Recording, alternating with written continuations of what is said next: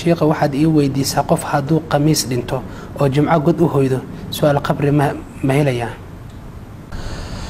alxamdu lilah axmeda waxaa jira xadiid arrintaa ku soo arooray.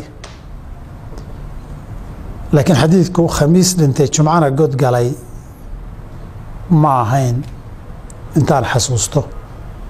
Xadiidku wuxuu ahaa ninkii maalin jumca ama habeen jumco dhintaay. Waqaahu llaahu fitnata alqabri qabriga fitnadiisa ilaahay ka badbaadinaya.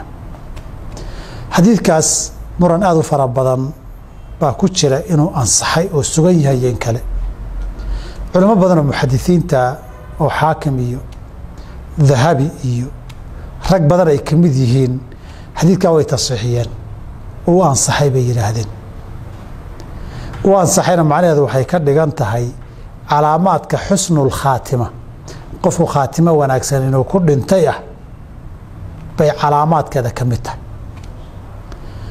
Calaamaddaa inay ka mid tahayna laba labadaba qofka nooli waa ka dadka nooli waa ka faa'iidaysanayaan qofkan dadkii ka dambeeyey way ka faa'iidaysanayaanoo qofkani inuu iyo ahalkiisii iyo dadkiisii inuu khaatimo wanaagsan ku dhintay in kale waxyaabaha laga odorosi karay ka mid tahay.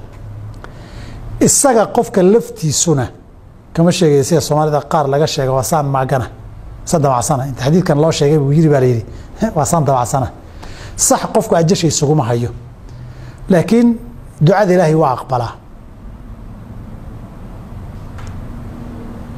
Ilaahay inuu baryo inuu geeridiisa ka dhigo maalin jumca ilahay wuu baryi karaa. Ilahay hadduu ka ajibana waa wax wanaagsan.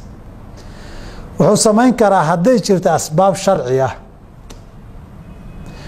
oo uu maalinkaa raadin kara habeenkaa iyo maalintaa sida jihaad sax ahoo lagu jiro oo furimaha dagaalka xiliyada dhacaya uu aada isugu beego inuu si fiican safka hore u galo si ay isugu timaado shahaadadii iyo maalinkaa inuu ku aada uu dadaal u sameeyo.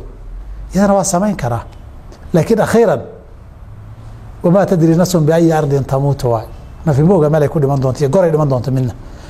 Marka xadiidkaas culimmadaa tasiixisay wuu jiraa culimo badan oo xadiidkaa diiday inuu ansaxayna waa jiraan. Wabilahi towfiiq